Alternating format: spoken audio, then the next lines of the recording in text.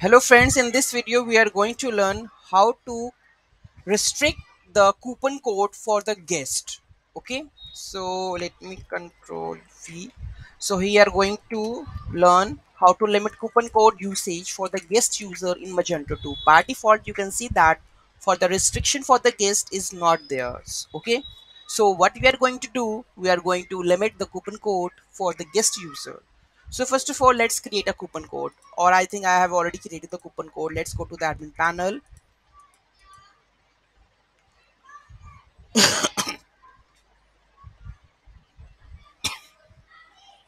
Okay, let's check we have the coupon codes or not. Content, where it is, marketing, marketing, marketing, cart price rules. We have the three coupons. Okay, so uh, let's take the example of the last one. It has the 10 uses per coupon per customer is one. Correct? This is the logic. Okay, so if I go to the uh, front end,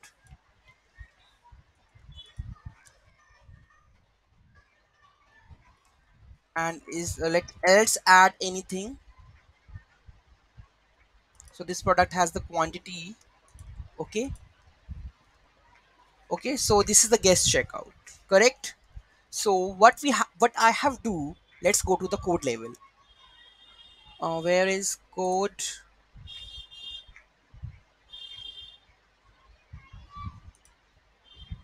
So this is the code guest restriction coupon code. We have the etc we have plugin registration.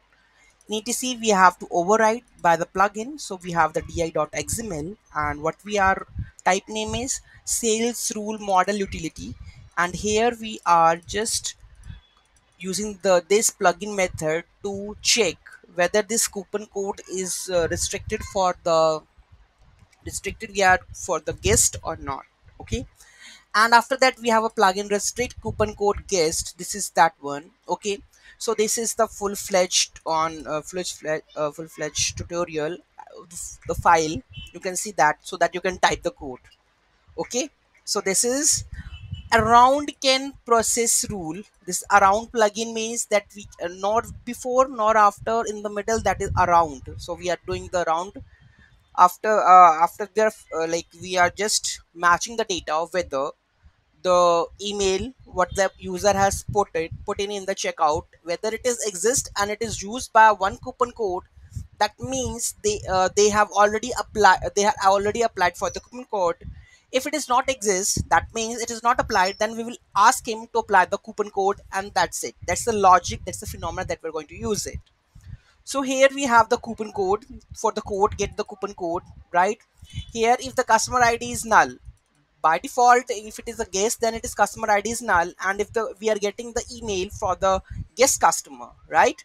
So uh, one of my uh, one of my you can say uh, subscriber or maybe the those who have uh, have seen my video they were asking about the how we can get the guest email address. So for the guest email address uh, whenever you do the checkout process there is a billing address where the email address is saved or the rest of the information is saved. On that note you will get the email address and you can do the rest of the manipulation according to it right? Okay that's it and after that we have a criteria for search query builder where we have add a filter of the customer email and the coupon code. If it is we get in the uh, like if, if we get we are searching in the database uh, like if it is get the customer email coupon code already exist in the table order repository then we can get the list. If it is not there then we'll return the false so here we have mentioned order get, orders get size is greater than equal to rules per uses customer. That means it already not applied means if you are not getting the size uh, like the array so it is blank. That means it is not applied already so we are taking advantage of it right? So it will return the result. Let's take a look how we are going because the the main thing is pending right? How what what's the next phenomena somebody uh, doing the rest of the calculations like uh, i am doing the uh, uh, in magento 2.4.3 what happened when you uh, when you uh, like create a coupon code and you think that i have applied multiple times but the usage and all this are not working properly. In that case i have a solution for you. So in any of the like you can say uh, uh, google you can do it the google. You will not get this tutorial full of like how to restrict the coupon code. I have already searched but i have made for you like how we can restrict the guest coupon code. So please be with me and if you haven't subscribed the channel please subscribe the channel. It's very important because in the next time i'm going to make the videos only for my subscribers who have subscribed it. So those who haven't subscribed the channel please subscribe it so that you will get my all videos. Because i'm now you can see this tutorial is no none of the uh, on the google. So and if it is there then it's not working. I told you it's not working. Okay? So let's take an example. So i'm taking an example. Uh, let's take a, uh random uh, email. 56 rajni 56 remember? Rajni 56 at the rate okay? And let's create the first name last name company street address whatever city zip code 12345 phone number done next. It's a new email address which is not registered yet. I'm going to apply the coupon code test 80 apply discount. Place order. Done. After this after this if i go to the dashboard sales order you can see that uh, placing the order as a guest. If i check that this is the resident and let's do the one more. Add this product to the cart. Proceed to checkout. Add the email address oh sorry. Which is the email address? Uh, rajni56 rajni56 at the rate mailinator dot com. Right uh, let's do the rest of the things. Okay city postal code 12345 um, whatever it is. Next. So i'm going to apply the discount coupon again. What happened? This coupon code isn't uh, valid? Verify the code and try again. That means this user has already applied the coupon right? You can see that i have already logged in i have already used the same email address and you can see that it's already uh, like it, it is say that the co- coupon code you already applied correct? So this is that now we are doing the rest of the thing like uh, if if i logged in as a customer then is it applicable for the same or not? Let's go to the next logged in as a customer. Cu- users per customer is one okay so let's drop this and let's go to the log sign in so i have already a sign in account or create a sign create an account right? Uh, rajni 112 at the rate mailinator dot com. Last name oh sorry. This is the email address. I will put anything over here. Email right? Password anything. Create. Done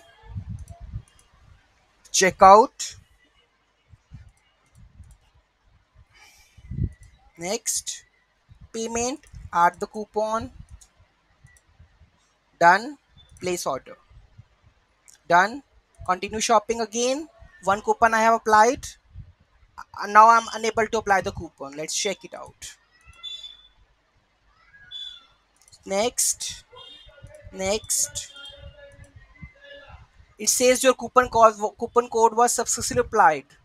That means the data is not updated yet. So this is the trick that i'm going to use it right now.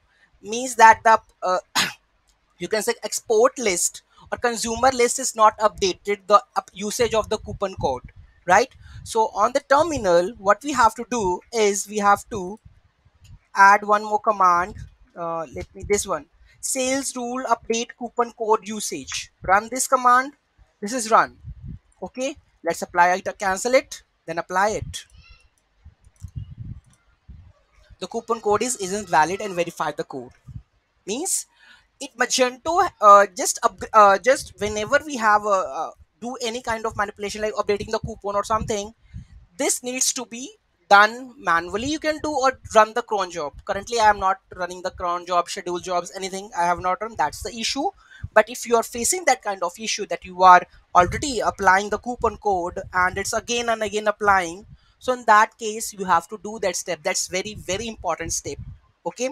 And the code we have already done that uh, how to restrict the guest user right? And i hope you will understand the whole video and process. And please please please do like share and comment. Those who haven't subscribed just watching the video please subscribe so that we can reach the number of people and it it will boost um, my motivation so that i can upload more and more videos uh, on different different platforms. Thank you so much for watching this video. Have a great day. Please do like share and comment. If you like the video if you have any query in that just write in below the comment box right? Have a great day